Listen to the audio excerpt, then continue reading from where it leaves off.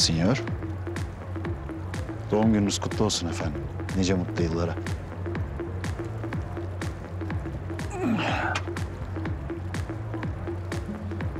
Teşekkür ederim Rafi.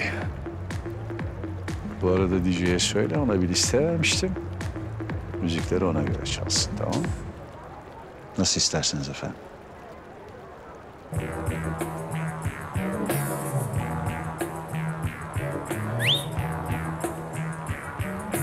Yaz dostum. Sinyor. Güzel sevmeyene adam denir mi? Yaz dostum Bu hikayenin sonu sen yazacakmışsın ha. olmayana yiğit denir mi? Yaz dostum Altı üstü beş metrelik bez için Yaz dostum İyi akşamlar, iyi akşamlar. Ne işin var senin burada? E bugün senin doğum gününmüş. Sakın, sakın, sakın, sakın.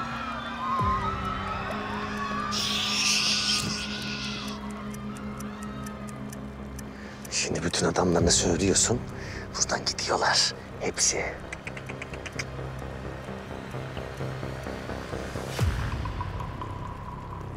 Sen içeri nasıl girdin?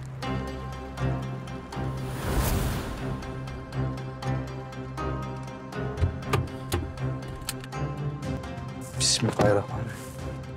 Barış Bey. Uzun uzun konuşturmayın beni Rafi Bey. Beyninizi patlatmadan devam edin hadi.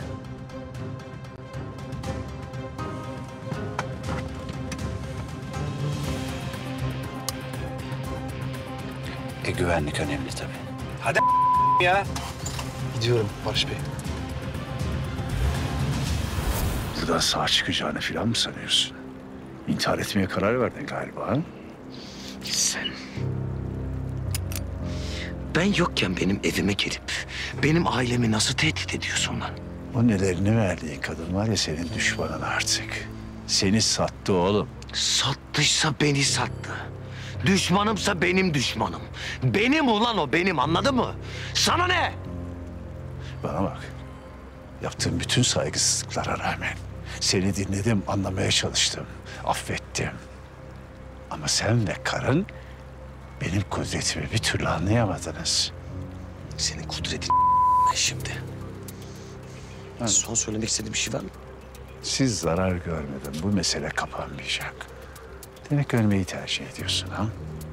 Barış. Sen hala bir şeyin farkında değilsin. Ben her şeyin farkındayım. Bak gayet hepsinin farkındayım. Ve o kadar keyif alıyorum ki şu an şu durumdan. Biraz sonra bu dediği çekeceğim. Ve senin o beynin patlayacak. Ve sen bu hikayenin sonunu göremeyeceksin kral. Hazır mısın? Annen öldükten sonra sen bayağı kayışları kopardın. Annemi karıştırma yemin ediyorum ağzının içinden vururum seni. Ben seni zeki bir adam zannediyordum ya. Ne? Annenin nasıl öldüğünü hiç düşündün mü? Evet. Annen televizyon seyrederken savcının durumunu görmüş ve fenalık geçirmiş. Siz çıkın aşağıda bekleyin. Size çıkın dedim.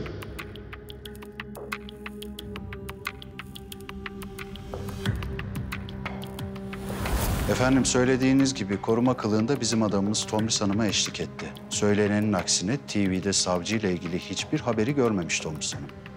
Öldüğünde yalnızca Zahit Bey varmış yanında ve odada televizyonda yokmuş.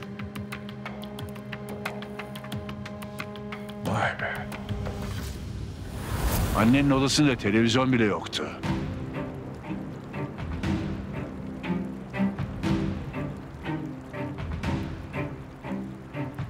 Evet aynen. Tahmin ettiğin gibi. Anneni baban öldürdü. Otopsiye göndermemek için de alelacele gömdüler. Siz bunu hiç düşünmediniz değil mi?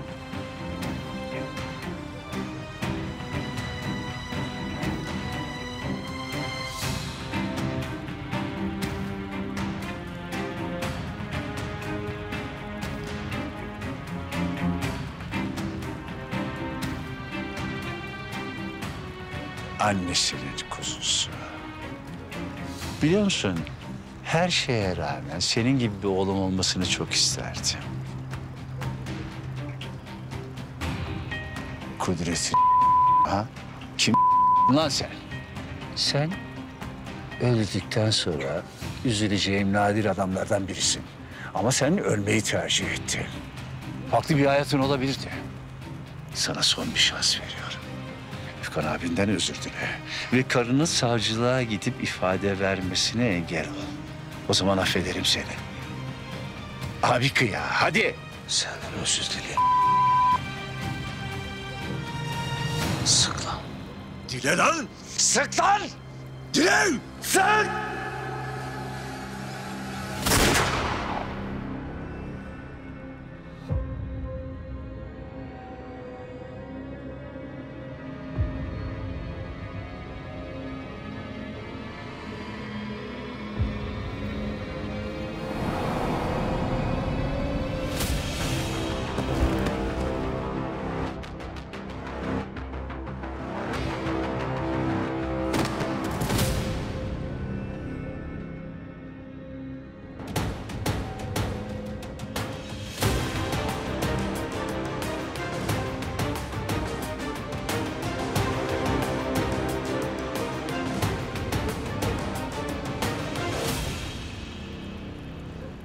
Barış Bey.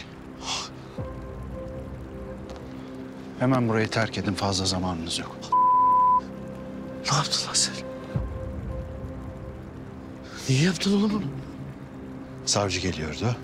Efkan Dağlı kaybetti. Barış Bey unutmayın. Krallar değişir. Ama bizler asla değişmeyiz. Şimdi beni takip edin gizli çıkıştan çıkarayım sizi.